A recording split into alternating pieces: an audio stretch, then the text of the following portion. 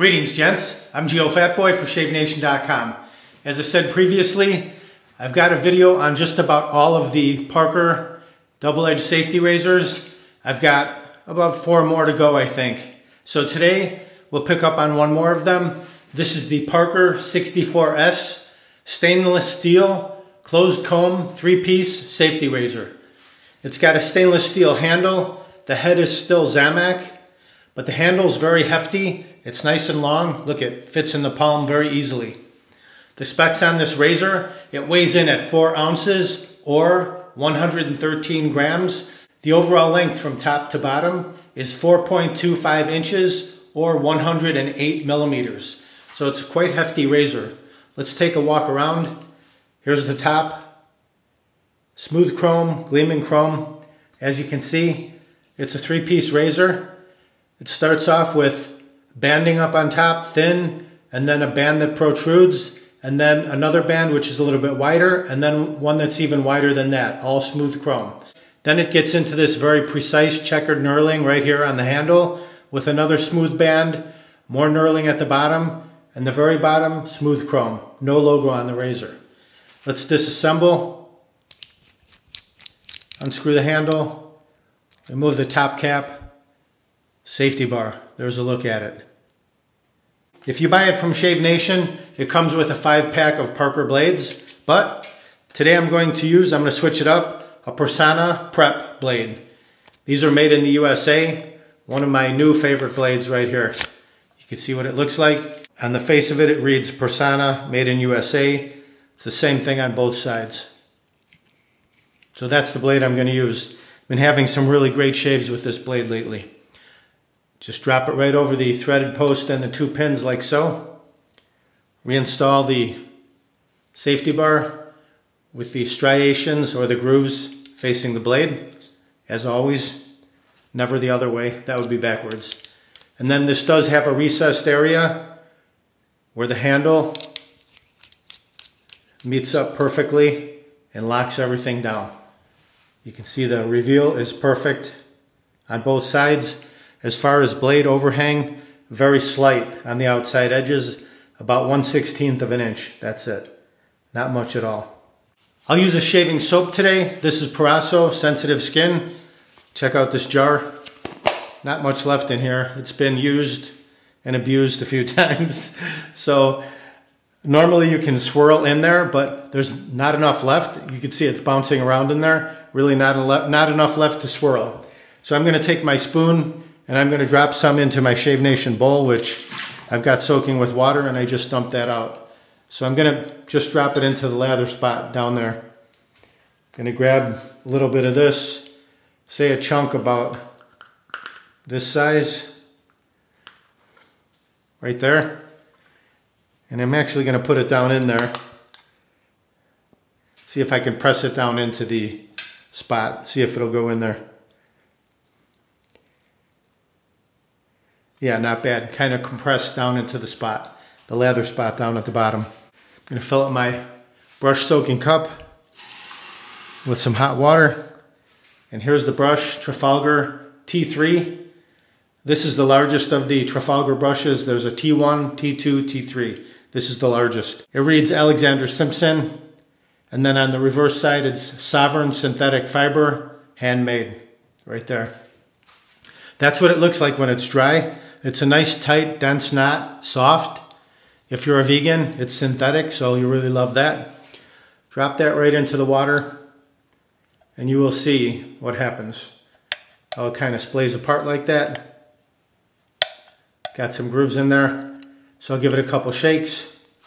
Dump out the water. We'll go right into the Shave Nation ceramic lather bowl. See what we can do as far as mixing a lather.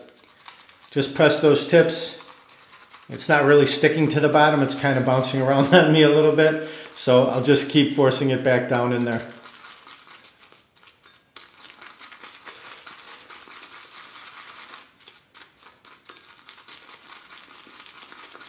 It's much easier if you can just, if you have enough soap left where you can just dip the brush in there, wet the tips, and then go into a bowl and generate further lather. But this is a little a little troublesome with the bits of soap spinning around. but we will make do. We'll do the best we can. We don't give up that easily, right? Just keep pushing them down into the lather spot. And we got some lather coming up around the top. I lost a piece down there on the floor. But as you can see, the lather is coming up around the edges. Just a little more water in the mix.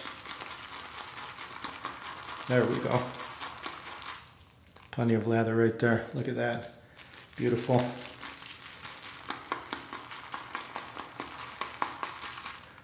Lots of lather. Plenty for several passes. Here are the two pieces that hit the deck. I'll get rid of those. They were just overkill. We don't need that much to generate our lather. I've got the lather mixed up. I'll warm up my face. We'll get right to the shave. All right, you can see my face is warm, turning red.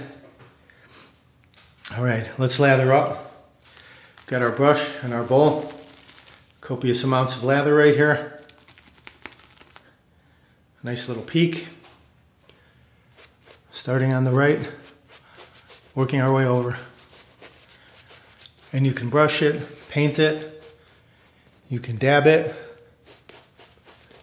you can swirl it, however you choose to apply the lather, just so you drive it into the beard.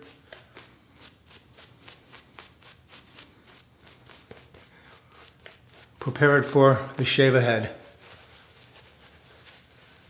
Excellent. Not much of a scent on this soap. It's designed for sensitive skin, so that leads toward the fact that no essential oils or anything like that. It does contain oatmeal and green tea, which is really good for the skin. Let's swipe, swipe. Clear the runways so we can see our sideburns.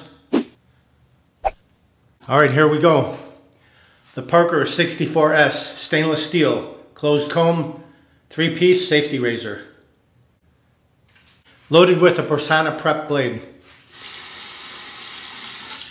Warm it up under the hot water.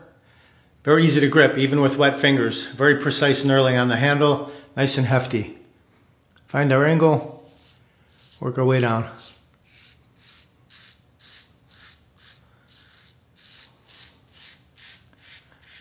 I had two day beard growth.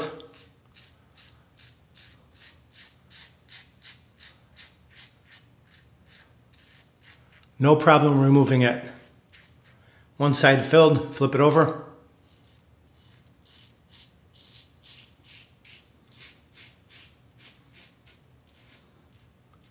Very easy to drop in the palm and spin, no problem. Let's rinse.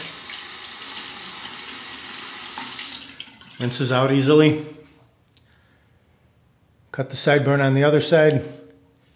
For your sideburns, you can start a little bit lower and then work your way up to exactly where you want them.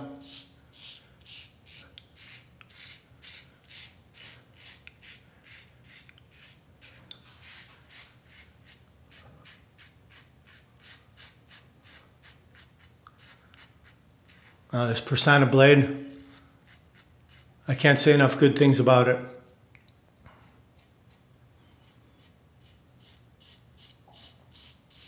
very smooth. And you get the feeling that you will not cut yourself with it. Even going over the curves.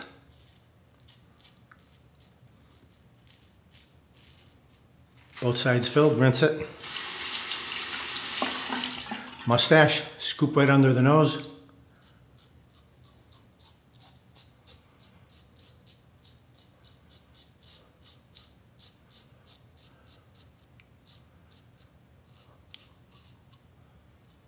Beautiful. Rinse that. Just a slight face rinse. Any residual cream could be left on. Okay, let's lather up for a second pass. Just a light coating of shaving cream this time. The bulk of the beard has been removed.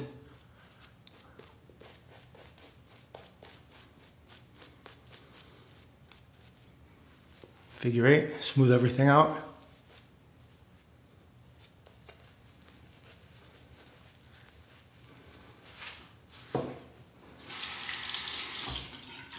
Swipe. Clear the runways again. First pass was north to south with the grain. Now we'll go across the grain. Very hefty razor. Just let the weight of the razor do the work. Four and a quarter ounces. Mowing through your beard, no problem.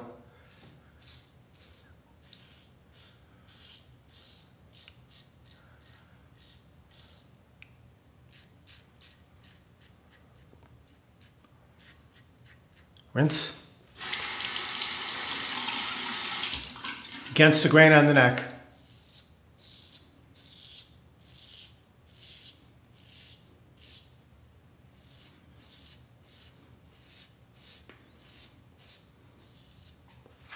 Both sides filled, rinse it off.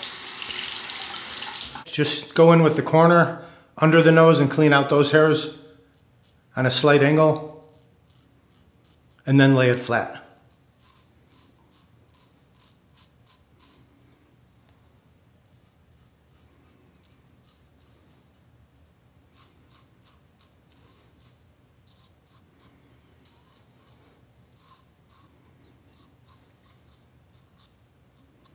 Beautiful. Rinse that. A final rinse of the razor, cold water rinse to the face. Very refreshing, cooling, excellent shave. This is where I would normally apply my Shave Nation Wide Stick Alum Block, but guess what? I don't, I don't have it here, so I won't be doing that today. We're gonna skip that step. I normally don't skip that step, but we will. Pat the face dry, If you want to see that applied, you can check out just about any of my other previous videos to see the Shave Nation Wide Stick Alum Block. Seals off your skin, closes off any nicks or weepers if you got any, but we did not get any. We just got beautiful baby smoothness. Total beardage removal, total smooth shave. We will apply some uh, Proraso sensitive skin aftershave balm. Ooh, not too much about that much in the fingertips. Massage that together right to the skin. Cooling, calming, refreshing. Invisible layer of protection for your face throughout the day. Look at that, beautiful. As you can see, I went from a two-day beard growth to baby smooth on the cheeks, mustache, chin, neck, everything is just super smooth. Great shave provided by the Parker 64S. Stainless steel handle, the Zamac head. I would like to see the head stainless steel, but they didn't do that.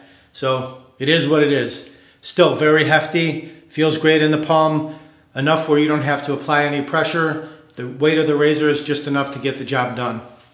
And paired up with the Personna blade, man, just about any razor now with the Personna blade, fantastic shave coming from that. And made in the USA. And they're called Personna Prep. A lot of hospitals use these to prep patients before surgery. So that's why they're pretty famous. That's what they're known for. Please like, comment, subscribe, share my videos with your friends. Over 600 videos, shaving and more. Thank you very much for watching. Visit shavenation.com for all your shaving supplies. I'm Geo Fatboy. Have a great shave have a great day.